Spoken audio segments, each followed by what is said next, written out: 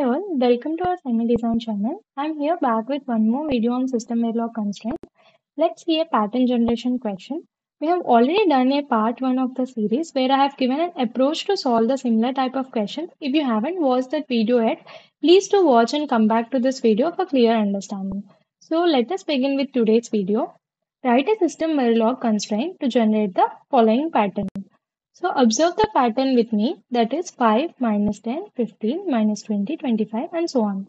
So here in this pattern it is like it has multiples of 5 and alternatively with some negative values right. The takeaway from the video is pattern generation coding and the other one is basic system Verilog concepts.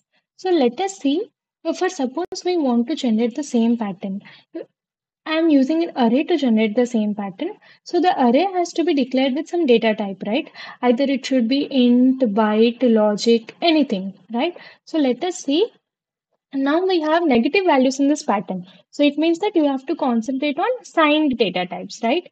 The signed data types in the system Verilog are int, byte, all these are signed data types by default. So for example, if we use the int as a uh, type of that particular array, then what would be the result? And byte if we are using what would be the result. All this we will try to demonstrate to the code and check whether it is working or not. So declaring the same data types such as uh, int and byte with by following with an unsigned keyword. For suppose you are making the data type as an unsigned data type, then what would be the result? So let us demonstrate all this through the code. Let us see the code. By now you should be familiar with the class and module declarations. So if you have any queries, please do watch the previous videos. So here the other main focus is to see the constraint, right? In the constraint, in what we are doing basically, uh, we have the multiples of 5 in the pattern and uh, they are having a negative values alternatively. Right. Uh, so it means that even indices we have a positive values and the otherwise we have negative values. The same thing we are writing in the code.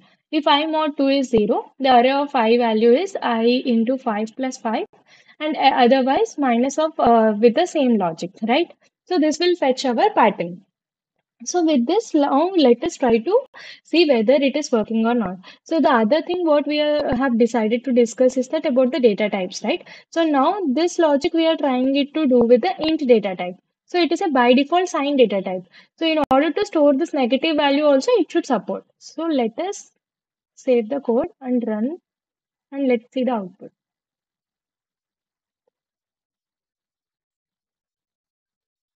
Okay. Yes, it is working, right? Now let us try the same code with byte data type.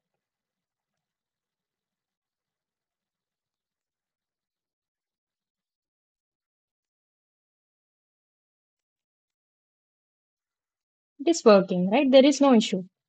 Then now may let us make this as unsigned data type and try the same code. So this we are doing in order to check whether the negative values and the data type compatibility basically. See, here it is like it is all zero. Why? Because the randomization itself failed. If the randomization is failed, you will not get any value, right? That's why.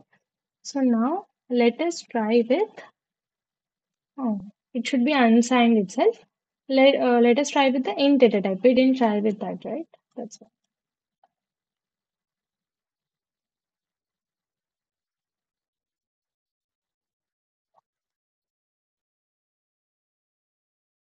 See, if you see with the positive values, it is proper. It is uh, constraining according to our constraint. Uh, but otherwise, the negative values, it is not doing it so because it has unsigned. Means unsigned can store only the positive values. So that is why the negative values logic is not getting constrained. Yes, we have came to an end to the system Verilog constraint series. We have so many other questions like Sudoku problems and arrays with uh, 3 cross 3 matrix uh, some variations in all that, some interesting questions we have. So if you want to practice and improve your skills like this, you can reach out to us. We will provide you the guidance. And one more thing is we are launching an workshop. Let me share you the details of that. That is, we have 10 days workshop on functional coverage and SVA based verification, which is starting from this April 20th.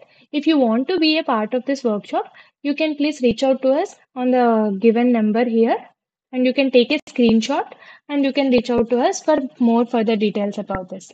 Thank you.